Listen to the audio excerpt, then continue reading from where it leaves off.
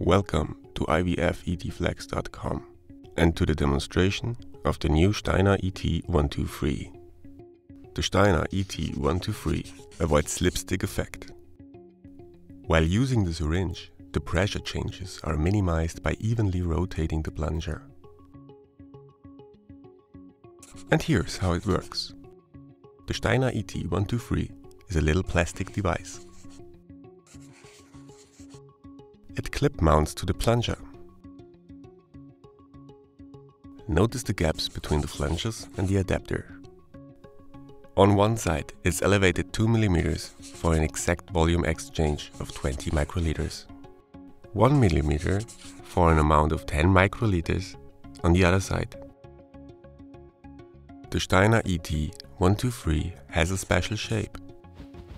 Because of that, the attached plunger rotates exactly 90 degrees. This movement should last 3 seconds. That as well is where the name Steiner ET123 comes from. The physician or his assistant on commando has to press softly Steiner ET123 in distal direction during rotating movement. The Steiner ET123 avoids harmful pressure changes called slipstick effect. It's simple, reusable and precise. For further information about this or many other products, please visit our website ivfetflex.com.